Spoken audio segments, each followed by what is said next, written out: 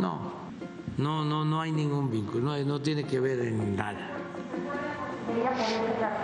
No, es que no había buena relación con la secretaria de Gobernación. Palabras de ayer del presidente López Obrador. Hoy, la entonces secretaria de Gobernación, sin duda enfrentada con el entonces consejero jurídico, Julio Scherer. Hoy, la ex secretaria de Gobernación, doña Olga Sánchez Cordero, reconoció lo que ayer dijo el presidente, las diferencias que tuvo con Julio Scherer cuando ella era secretaria de Gobernación.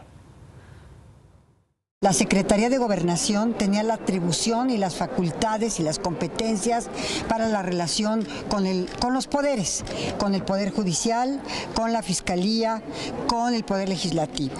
Y estas facultades pues se las había arrogado el señor consejero jurídico. Yo no estaba defendiendo a la Secretaria de Gobernación, estaba defendiendo a la Secretaría de Gobernación en sus atribuciones y en sus facultades. Ese fue el principal, digamos, problema o la principal eh, tensión entre el funcionario, entre el consejero jurídico y, la persona eh, de la Secretaría de Gobernación, que insisto, no fue una atribución, una competencia a la secretaria Olga Sánchez Cordero, sino una atribución y competencia y facultad de la Secretaría de Gobernación.